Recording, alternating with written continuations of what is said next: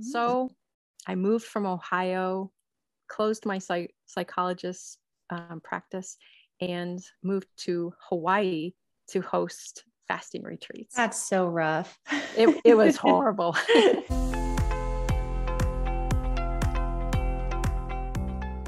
Hey everyone, welcome back to the Reshape Your Health podcast.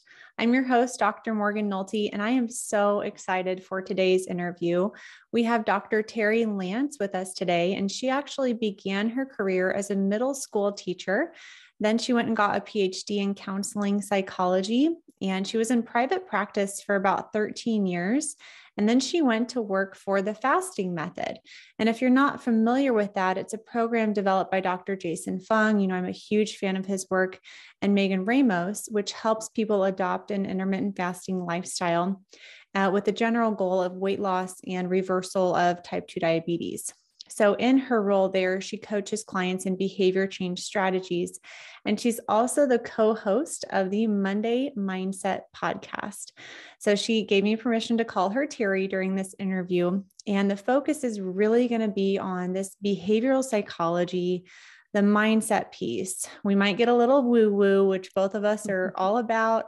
Um, and it's really important. You know, I was telling her, before we started recording, you don't get far into a weight loss coaching career without addressing this stuff because you can tell someone what to eat, but if they don't change the thoughts that's driving the eating behavior, you just don't get very far. So, Terri, welcome to the show. Can you just start by sharing your amazing story for those of you, for people listening that don't know?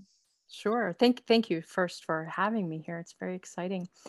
So, I grew up, I know my story starts young, as for many mm-hmm. people. I grew up overweight. Um, I think by the age of like starting kindergarten, I was getting significantly overweight. So I, I struggled with it all the way through school, through high school, into college. I did a number of weight loss strategies during high school. I joined a weight loss program, and because I was under 18, they had to limit how much they could restrict my calories, but I think I was still restricted to a thousand calories a day. And it was, you know, low fat, um, nothing that I would normally eat, but I worked really hard and I lost a significant amount of weight. But of course, returned to old patterns and gained it all back and more. Went to college, started my career as, as you said, a middle school teacher. Um, brutal, brutal job, but um, learned learned a lot of great things and continued to struggle with my weight. And then I left that to go back to grad school full time for my PhD. And and and during that time i continued to not do well weight wise and i would lose weight gain weight lose 50 pounds gain 60 pounds as many of us have experienced and it wasn't until um, i'm sorry blanking on something here. Okay. Toward the end of my graduate program, I was diagnosed with type 2 diabetes. And it was not surprising to me because both of my grandmothers had type 2 diabetes. And I just remembered hearing as a kid, it skips a generation. And so I, I did the math and I, I knew what that meant. It meant I was going to have diabetes. And so I was in my early 30s, diabetic, and you know, they just started putting medications in, adding more and more medications as we went. And I wasn't getting any better. Things actually just kept getting worse. I gained more weight. Some medication, one medication I took three weeks in, I had gained nine pounds. So, really a devastating approach for me. But I was also naive and stubborn. And so I was very un willing to do any actual changes on my own. Mm. So I didn't change my eating, I didn't change my lifestyle. And it wasn't until I was in my mid 40s that I, I finally changed that. And at this time, I was in private practice as a therapist. And I started my, I would say, my health journey really with the Whole30 approach. Mm-hmm. And it was a shocking change for me because I was eating Pop Tarts for breakfast and bread all day and diet soda all day. And then I started this whole food, three meals a day, you know, no grains, no sugar, no dairy. It, it kind of cut out everything I was used to eating, but I felt so much better. And my primary goal when I started it was to lose weight. And I had joined a couple of online groups connected to it, and everyone in there was losing a lot of weight in the first 30 days. Um, and if, if anyone's familiar with it, um, they have you not weigh yourself for 30 days. So I was so excited. I was coming back on day 30 and I knew I was going to lose like 18, 20 pounds. I was I was doing so well. And it got to day 30 and I had lost 4 pounds. And I was a bit devastated by that. Not that 4 pounds is not good in a month, but I had made such drastic changes that I really expected bigger results. But what I also found is in that time, I had to come off of one of my diabetic medications. I had decided to continue my Whole30 for 100 days because I knew 30 days was not going to be enough to change what I was doing. So I went for 100 days. By the time I got to 100 days, I had lost 22 pounds. I had come off all three of my diabetic medications and I was doing so much better and feeling so much better. So I knew then that there was something to this eating real food, figuring out what foods are problematic for your body. And i i stayed in the kind of the paleo approach for a while after that. And eventually i transitioned to a more ketogenic style because of my blood sugar had started to go up again. So around this time i realized that i wasn't completely happy in my career i loved helping people and i loved them risking talking with me about difficult things i loved all of that but I felt kind of limited in how I could help because I was watching people working with depression and anxiety and other concerns while eating a diet that I knew was interfering for them. And when I would touch on it, they would be very resistant. They saw no connection. And so I just felt like I could help less and less with my new information, new knowledge I had. I wanted to help people differently. And around this time, I had started moderating a Facebook group for the two keto dudes. And through that process, I met Megan Ramos at the Fasting Method. It was called the Intensive Dietary Management Program at the time. And she had said, Well, you know, might be interested in working with you. I said, Great. And I didn't know what she meant. I thought maybe we'd work on something together. Well, she actually meant me coming and working with them. And so soon after that, I transitioned to becoming a coach with the fasting method. In the beginning of my job, we were actually starting a fasting retreat program. Mm-hmm. So I moved from Ohio, closed my psych- psychologist um, practice, and moved to Hawaii to host fasting retreats. That's so rough. it, it was horrible.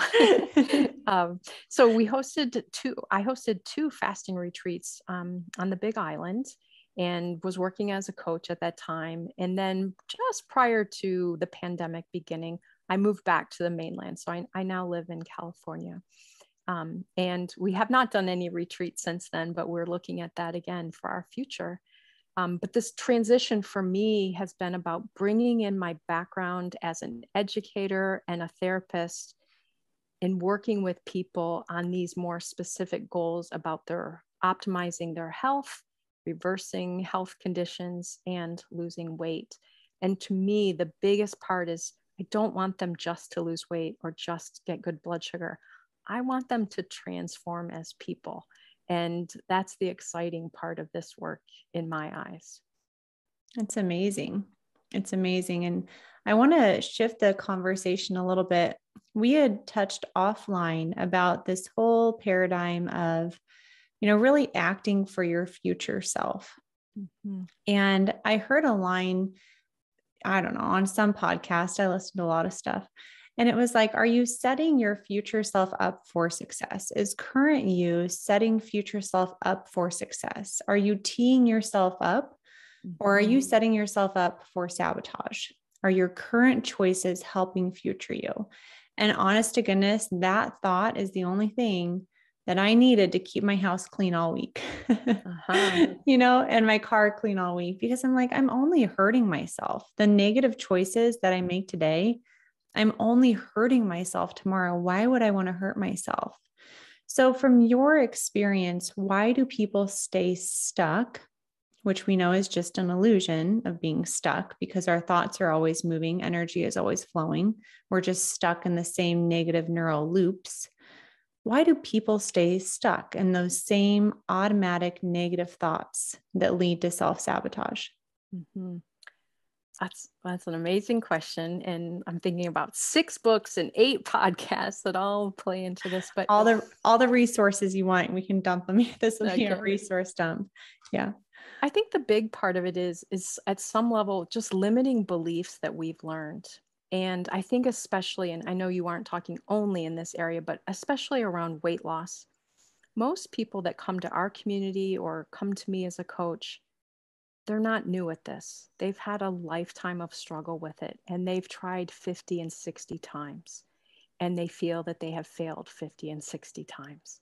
And so I think, unfortunately, those limiting beliefs keep getting reinforced.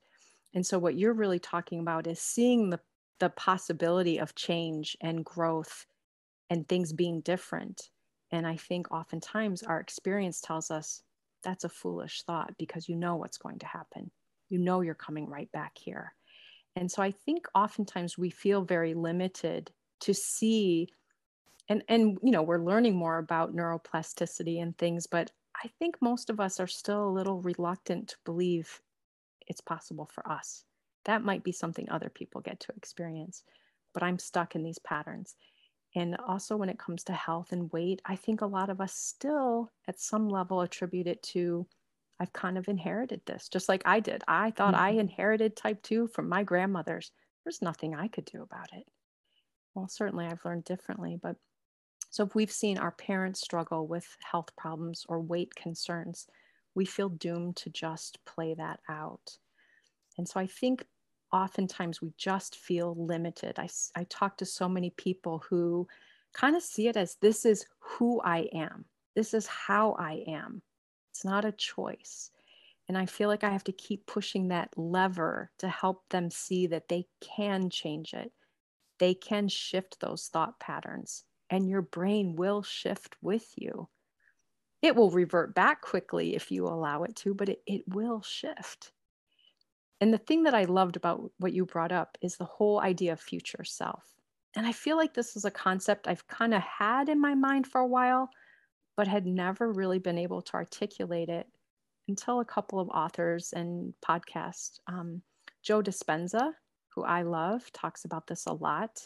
He does meditations even from you know picturing your life in your future self creating the life you're leading as your future self rather than being stuck in the patterns of our past selves. And another one that when you started talking about it really reminded me of benjamin hardy and he talks about making decisions from our current self we are very driven by the dopamine in the here and now so if I eat this thing right now, I'm going to feel good in this moment. I'm probably not going to feel good in five minutes or two hours or five days or 10 years. And so that idea that you brought up, I think, is so important to check in with ourselves. Is this decision going to make me feel okay right now and come at a cost to my future self? And we have to tilt that scale so that we are investing more in our future self than going for the immediate gratification. Mm-hmm. I think that is so true. And I haven't heard of those two resources. So I'm glad that you mentioned them. And I think that reminds me of the growth versus the fixed mindset, mm-hmm. right? So someone with a fixed mindset thinks there's no hope for me. This is how it's always going to be.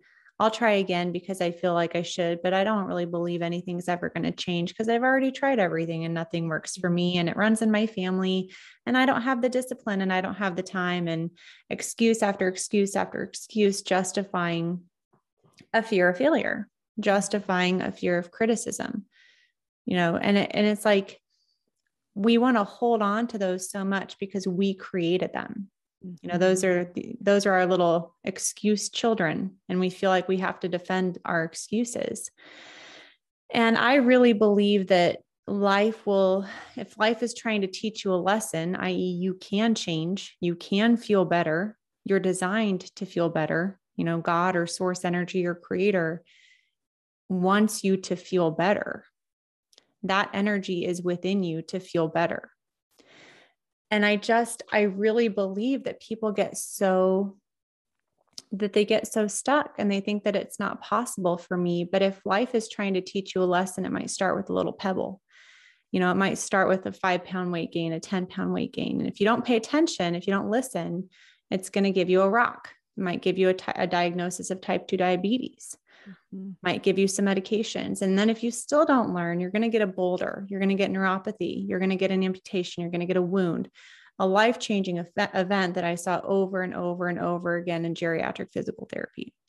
And so I think both of us are very committed to helping people understand you can change. Pay attention to the pebble, pay attention to the rock before it becomes a boulder. And so I think that people listening maybe can start to identify oh, yeah, like I have limiting thoughts. Yep, I have those. So, what do we do about them? How do you mm. help your clients go from that fixed mindset to the growth mindset, mm-hmm. from the mm-hmm. limiting thoughts to the limitless thoughts? So many thoughts while you were talking, like, oh man, so many things we could dive deeper on. I think one of the things going back to the growth mindset with Carol Dweck's work is to look at one of the components of it is if you have a growth mindset, you see other people's success as an indicator of what's possible. And I think a lot of us look at other people's success and may feel a little challenged by it like why did they get gifted that talent or skill or opportunity and I didn't and I hear that even in our community because we have a Facebook group it's a you know 100,000 or more people Facebook group and people write their success stories there.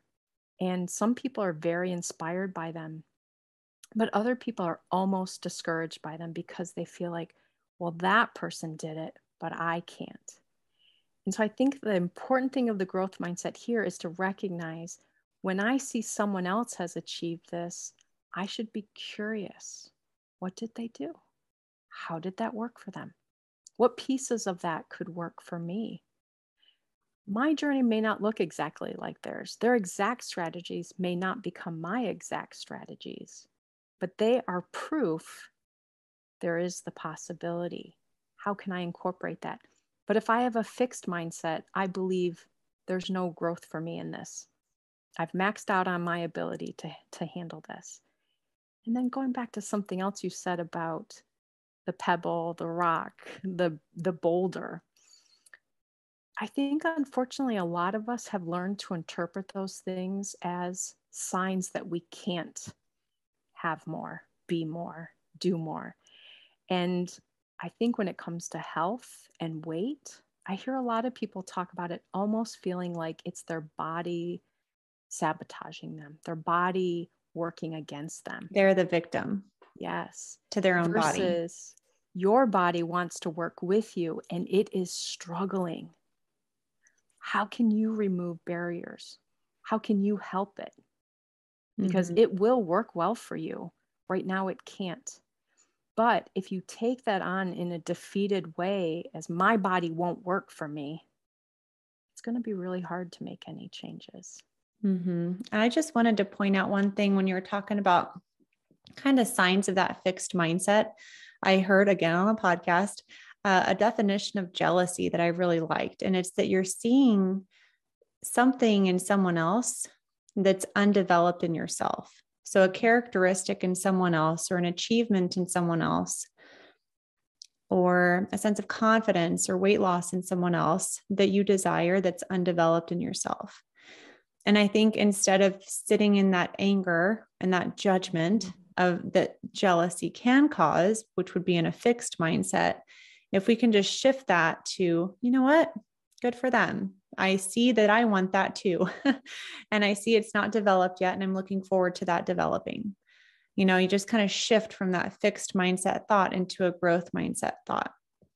And I think this would be a really cool time to kind of dive into the woo woo side of things. Um, and when we say, when I say woo woo, I mean energy flow. I mean, what is your emotional state? and how do how does your emotional state drive your physical state because usually again when people come to me when they come to you they've tried a lot of things they've tried a lot of diets they've tried a lot of programs and very few actually dig deep into mindset um, which is what is driving that behavior you know? So they might fix the symptom of weight loss but but excess weight is a symptom of something deeper. So first of all what does woo woo mean to you? That's kind of what it means to me is energy flow and emotional health and how all of that ties together to create our uh, thoughts and drive our actions. Hmm, i would agree with that definition. I think you know, I'm smiling even as you say it because I think I use the term woo woo to indicate I think other people may not be open to it. And so I I, yeah. I put it out there lightly in case they're open to it because it's something that goes against how many of us are taught to believe things in the here and now, very concrete, physical way of explaining things.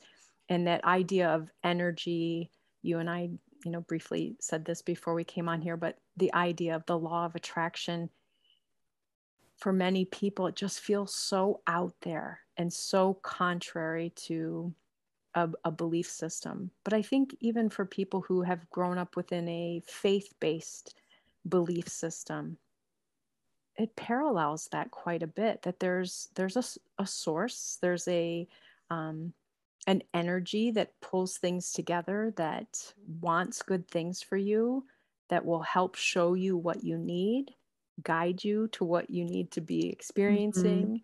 Mm-hmm. Um, and I think something that all of us could benefit from being open to, regardless of what our own belief system is, is our role in it. Amen. that Isn't it's that not crazy? just something not just something that happens to us, but I really believe in we create so much of our experience. And I don't just mean this on the level of thinking positively, but making sense of our world from an empowered place. What am I learning? What am I seeking? How can I do this in a way that supports me rather than, uh oh, I just have to kind of dodge these things coming at me? Mm-hmm. Or white knuckle my way through this you know mm-hmm. um so you said guided and i heard online recently that i loved a question and it said how would you live your life if you knew you were being guided mm. what would you release would you release feeling like you need to control everything mm-hmm. would would you release the worry that you have around something would you release the fear of failure because you knew you were being guided mm-hmm. i think that's a really comforting thought and another thing that I heard of recently is I can't remember what the counsel you may you may know what the counseling strategy is called or the system is called, but it's essentially that we have a little child in us. I have a little Morgan, you have a little Terri, and that we have wounds from our childhood, mm-hmm. you know, and those haven't necessarily been healed. And then we carry that emotional baggage, baggage into adulthood. And unknowingly, that the automatic negative thoughts from those experiences are driving our actions today. And we almost have to kind of develop that inner parent and parent ourselves, kind of like reparent ourselves and tell that little child within us what it needs to hear. You're safe, mm-hmm. you're secure, you're loved just the way you are, you're perfect just the way you are. Um, have you heard of that model? Have you used that in your um, mm-hmm. um, professional career? I think you're touching on the family systems approach. Yes. Where it's really, it's kind of the dynamics in a family, but they're within ourselves. Is, and... is it the inner family systems or the in, isn't it like the inner family systems approach? I don't know, something like that. I'm trying to remember the act. I, it's funny, you're actually catching on I am someone who goes for the feel of things and often forget the science technicalities of it.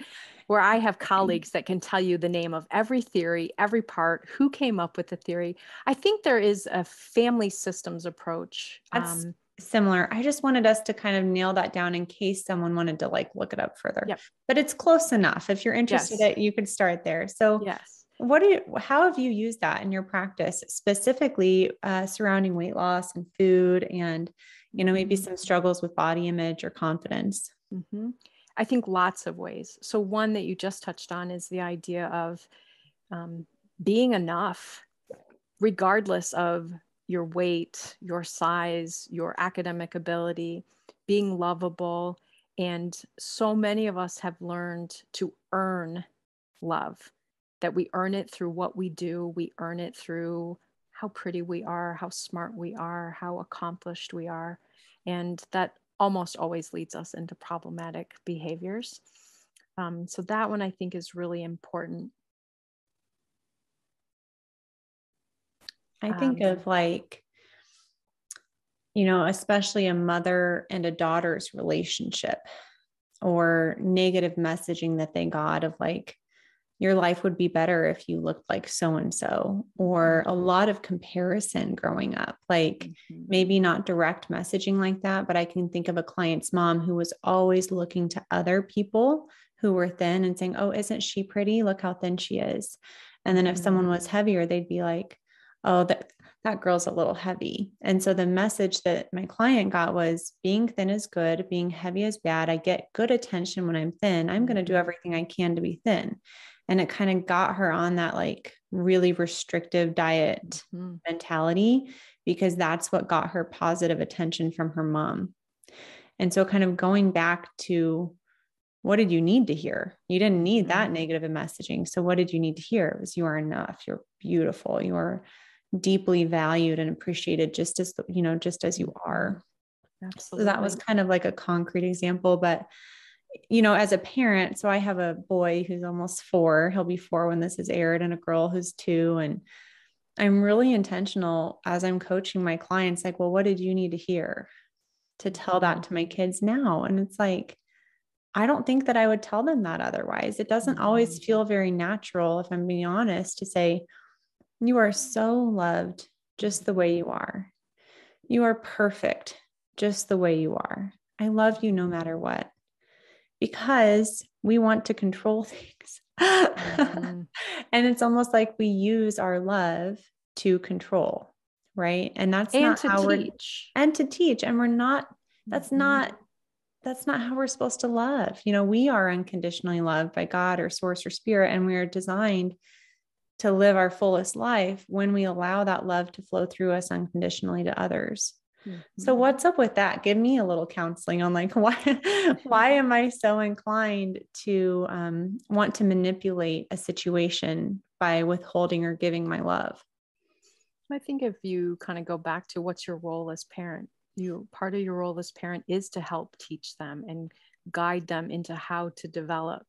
And so you attach your expression of acceptance or love to doing certain things, behaving mm-hmm. certain ways.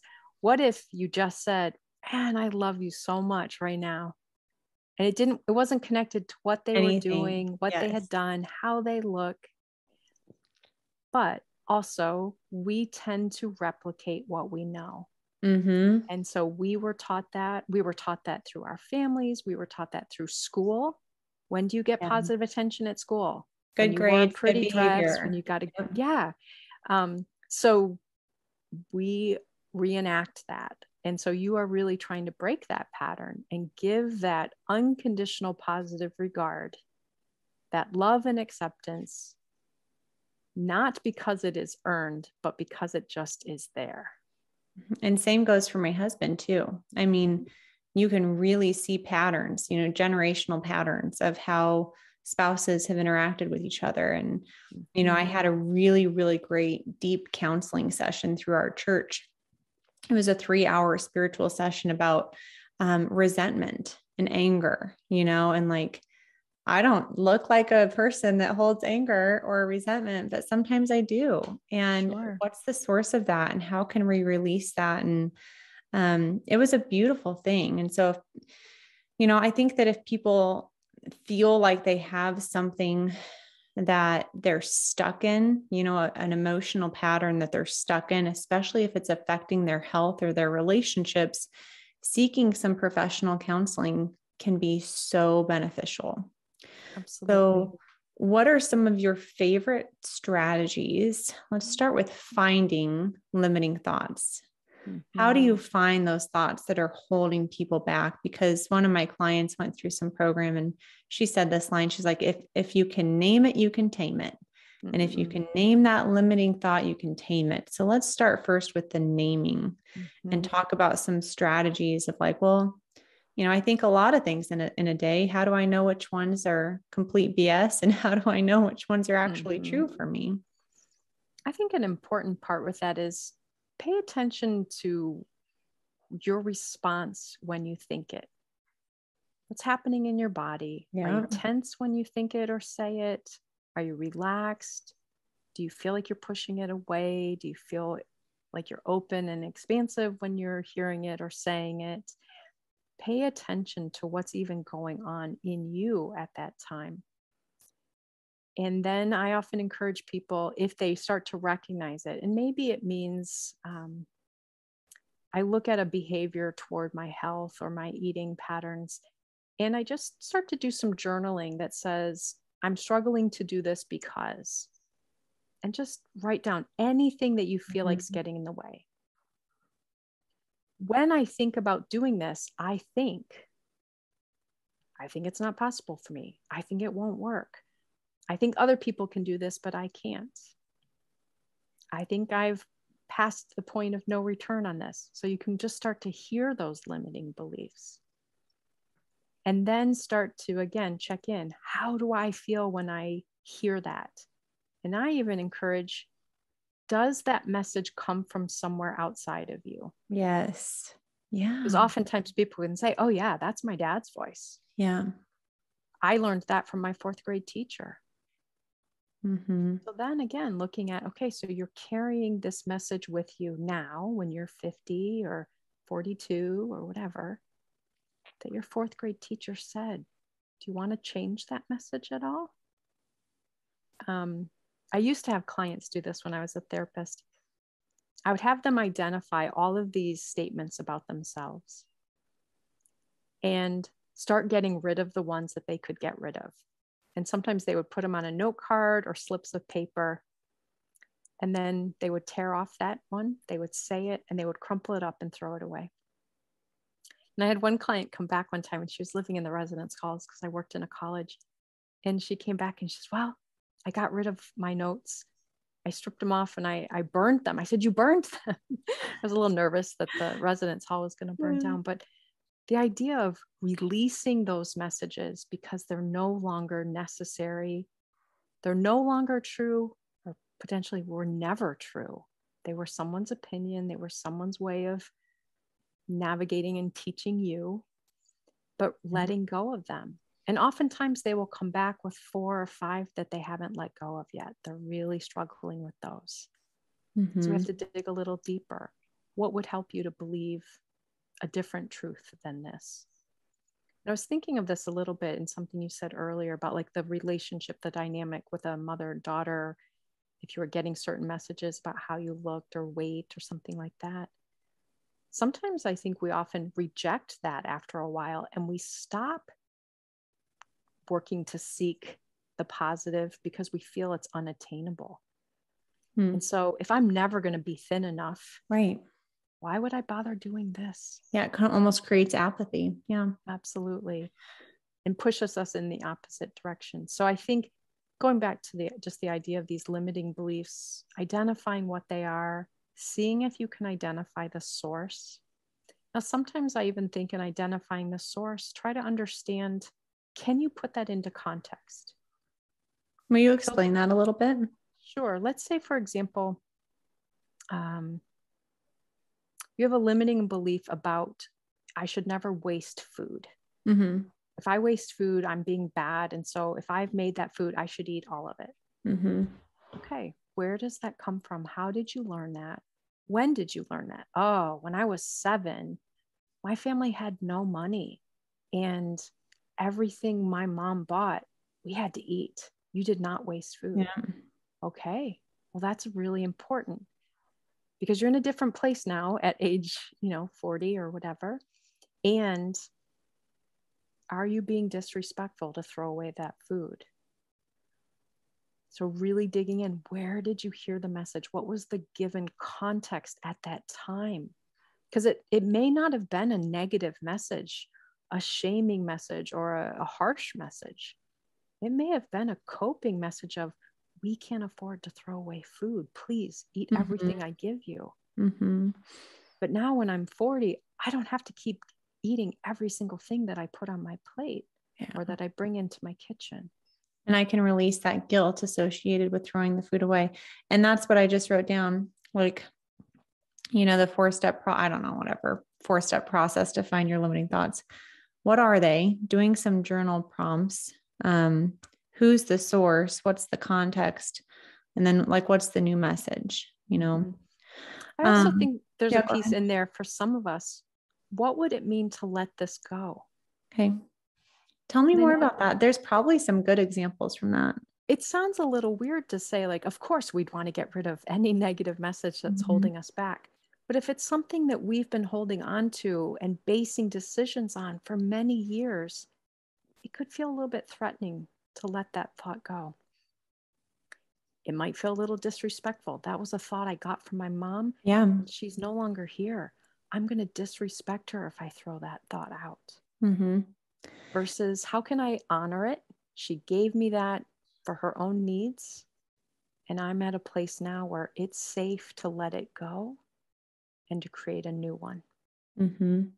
And I think that you hit on something there. And I think sometimes that's why they're so sneaky. So, some of my personal limiting thoughts, just in general, were actually kind of handed down behaviors from my mom, who's the most amazing person ever. And so I think it's really hard. It was hard for me to recognize that because I think of her so highly. You know, she's almost on a pedestal. Nothing she could do is wrong. Like she's perfect. No one's perfect, you know? And so, really kind of allowing that to happen, al- allowing that process to happen, um, honoring her exactly what you said, because she had a completely different context than I have. Mhm. And I think that is a really helpful kind of second line of questioning. Well, what would it mean to let that go? What's the context there? Did it have purpose and meaning back then when you were a child? Mhm. Can we let that go? And one thing that I wrote down too is when you're writing down those thoughts, like on a piece of paper, and then you crumple it up and you throw it away, I think it depersonifies the, the thought. And I've heard of that a lot too of giving that inner voice of negativity that you know is not your source. It's not you. Mm. It's it's just not that positive radiating light within you. Giving it a name to um, objectify that voice and and remove your own identity from that. So removing those negative thoughts is a part of who you are, and just be like those are in my brain, but that's not me. That's not who I am. Mhm. Um, and so I think that kind of writing things down, throwing them away, having that visual experience, that visceral experience of this is not me anymore. Mhm. And then it makes it more clear if that thought pops back into your brain, and it likely will. Nope, that's not me. I threw that one away. Um, so do you ever recommend that? I've never recommended someone name their inner voice. Um, but I've heard of a lot of people doing that. Have you done that or recommended that? The way that I have done it, and this is maybe sharing a little TMI, but Oh, um, never. Not on here. I I sought out a new therapist when I moved here, and she wrote a book called The Self Sabotage Behavior Workbook. Well, that's great. I need that. So I, I sought her out as a therapist. And so a lot of our work has been about self sabotage. And she does have you name that saboteur yeah. so that you recognize there's a part of your brain that may be holding on to things that get in your way and it's not you. Mm-hmm. And, you know, if your saboteur's name is Lucinda, you know, Is that yours? no, mine is Bob. But um, you know, it it it does. It helps you separate it out. This isn't me. It's a part of my brain, you know, enacting in this way that is actually holding me back. And I can recognize. I can recognize Bob's tricks. I Mm. know why he's doing what he's doing, and I don't have to to to believe it or fall into it. The other thing that you said about um, naming it, another um, approach is to even identify what it is. I'm having a thought that. Ah, I like that. So again, it's creating a little distance. This isn't me. I'm having a thought that. I like that a lot. And that's so simple. Uh-huh. That's so simple. One of my other podcast guests was like, you can swipe on your thoughts just like you swipe on Tinder. You know, mm-hmm. it pops mm-hmm. up in your brain. You, I've never used Tinder because I don't mm-hmm. have to, but you swipe it and oh, yeah. that thought popped in. I'm not going to pay any attention to that. I'm having a thought that, not I am. Mm-hmm. So I'm mm-hmm. having a thought that I'm feeling, not I am feeling. That's yep. a really important distinction because we tend to own our feelings and hold them very mm. close versus no, this is a thought that's passing through. I'm, you know, I'm having a thought that I'm, a, and then another way to distance it even a little more, I'm aware that I'm having a mm-hmm. thought mm. that. So again, getting it a little less close to us. Yes, I'm taking notes. I'm taking notes. I'm aware that I'm having a thought that mm-hmm. I like that. And it's changing that internal dialogue. And it really mm-hmm. requires us to be present to our thoughts, mm-hmm. you know. And when we're on autopilot much of the day, that can be hard. So, what are some tips that you give people to be more present to their own internal dialogue? I say one, try to listen as much as you can, even if you have to catch it after the fact. Mm-hmm. You'll you may hear it. Ooh, that kind of hurt when I said that, or I cringed when I said that replay it in your mind, replay it in your journal. When my boss said this to me, here's how I would like to respond. Give yourself the prompts to even practice a different way to respond. Because right now you're still responding in your old patterns. So start to give yourself some room to practice a new response. Identify it when you can, create some new ones, do some journaling, reframe it, if you're with someone who feels safe, reframe it with them. Mm-hmm. Say it and then say, you know, I want to try that again. Say it again. Mm-hmm. And I wanted to go back to something else you said.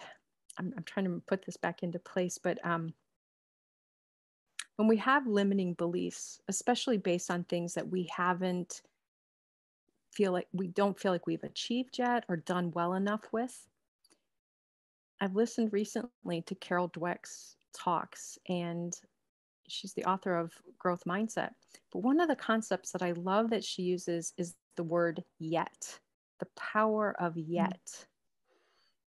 So let's say, for example, I'm talking about my weight loss, and my fixed mindset is now I can't lose weight. I've never been successful of losing weight.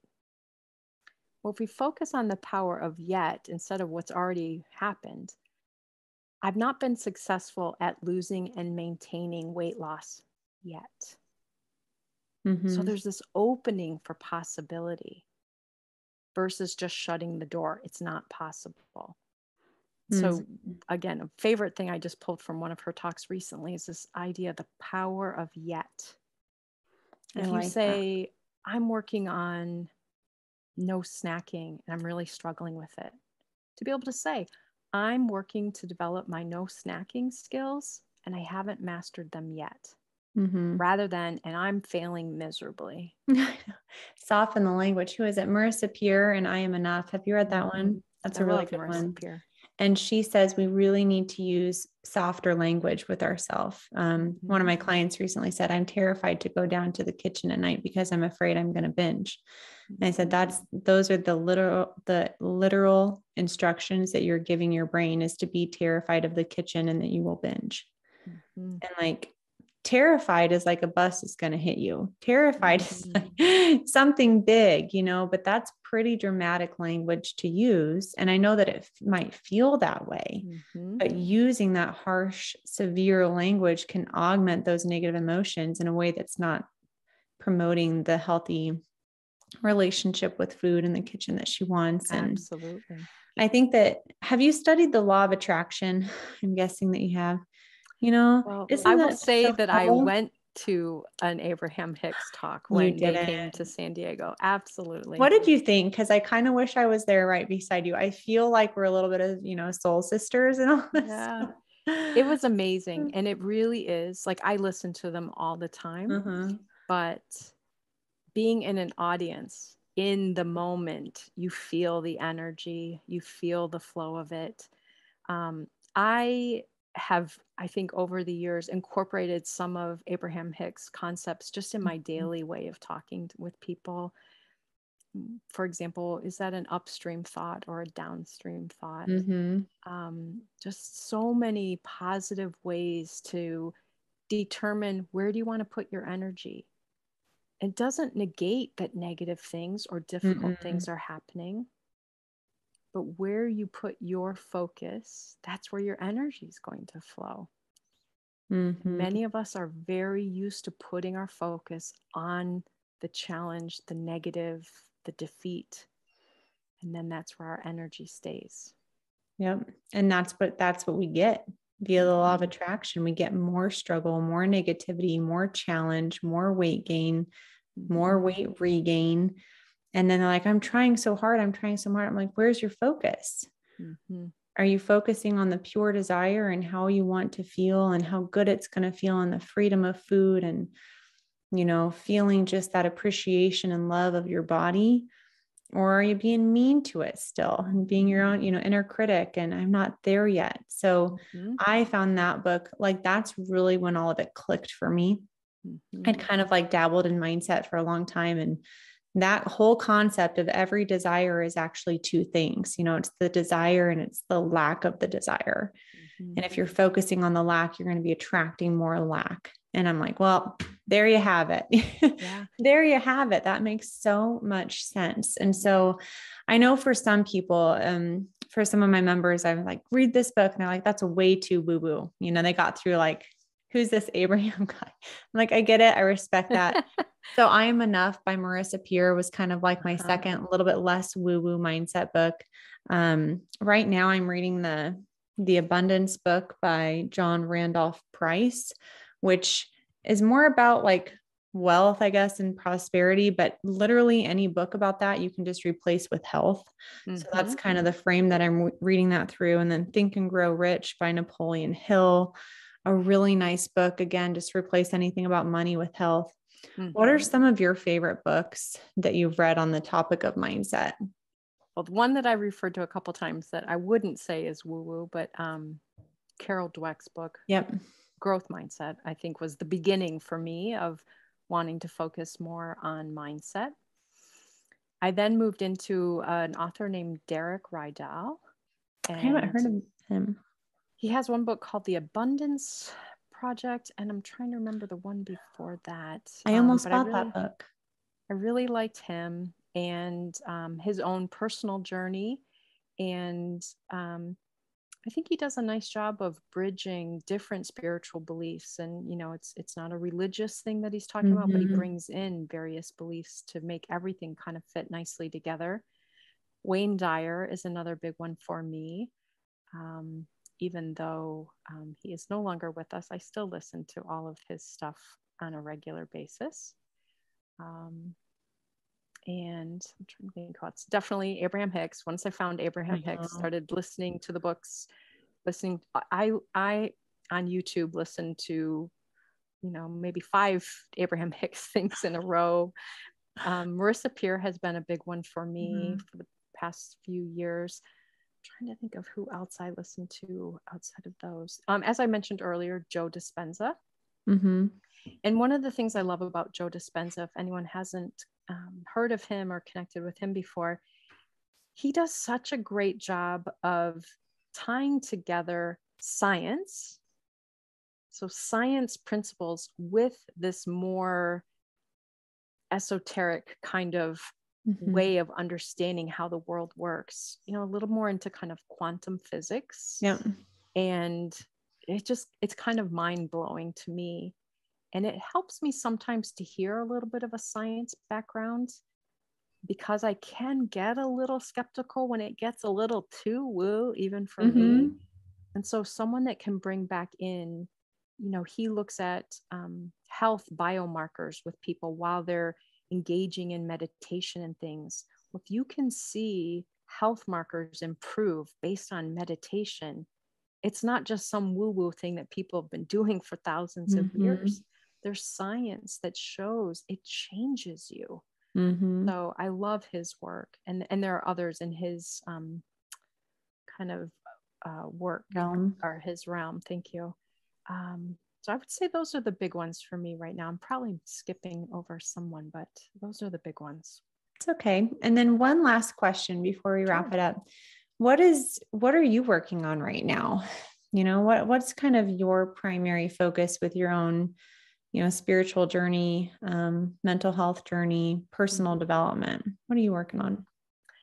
Well, I would say the biggest right now is imposter syndrome.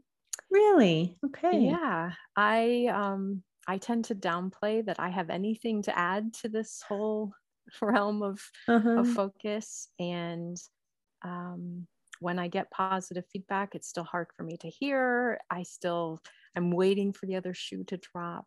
So that is definitely something that I've been working on and continue to work on. Definitely the self sabotage. Yeah. And I think in some ways, thinking of, um, I think this is true for most people, I can be very successful in certain areas of my life and other areas I don't have that same momentum. I don't have those mm-hmm. same patterns.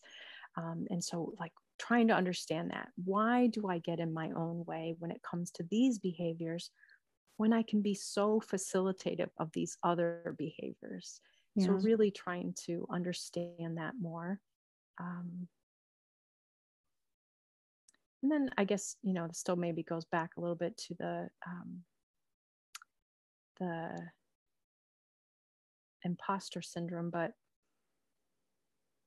risking putting myself out there and trusting myself and knowing that there's an audience for everything. I don't have to be the perfect, you know, answer, savior, anything for mm-hmm. anyone necessarily, but that what I do, what I have to author, offer, excuse me, is of value to someone. And that that's all that's required is just keep it's an exchange system in this world. Mm-hmm. And so, you know, I need to put myself out there and then I need to be open to receiving as well. And it sometimes is easy for me. I'm pretty introverted. And so it's easy for me just to kind of go inward, stay kind of stuck in my own stuff instead of get out there, share, receive you know influence mm-hmm. receive influence. Um, so i would say those are my uh, some of my growth edges right now that i'm working on. Well i've really enjoyed this conversation. I can tell you're just such a gentle spirit you know and mm-hmm. you've done a lot of personal growth work and um, i think i'm like i want to be a client of hers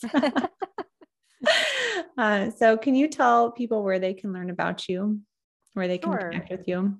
Sure. You can go to our website at thefastingmethod.com. And I am currently coaching. And so, if you're interested in seeing what we do, we do discovery calls where you can first set up a meeting and just meet with us to see if this is something you're interested in. Another thing you can do is join our community. We have a membership community, and I host three meetings a week in the community. They're large Zoom meetings, so you get a sense of working with me and everything through that. Um, you can also follow me on Facebook and Instagram. It's just um, Terri Lance, PhD. And I would love to, you know, get feedback from people and get support from people and ideas. And also, you can follow on Monday Mindset Podcast. Yeah. That's a podcast that I do with my friend. And it's really just kind of born out of we both liked sharing things with each other like oh i read this great book or i listened to this great podcast and so that's what we do we just share things that we think could be helpful to people and try to do it in kind of a bite-sized way right yeah well this has been a, a big blessing for me today um, I just really appreciate the energy that you brought. I feel like you were such a calm, soothing presence throughout this whole interview. And I hope that people listening or watching just got some awesome value and great tips. You know, I think that you gave us some really practical things. My two favorite were the yet, and then, um, you know, I'm aware that I'm having a thought that. Mm-hmm. I think that was a really powerful one too to sep- bring some space and separation between those automatic negative thoughts. So, Terri, thank you so much and have a wonderful rest of your day. Well, thank you for again having me here. And I feel the same about the interview. You make someone so comfortable to be here. Like, dang, I could just hang out all day. I know. I'm like, I wish this was you. in person. we have to go for some coffee or something. I know. Or to an Abraham Hicks conference together. Absolutely. Absolutely. all right. Thank you. Bye.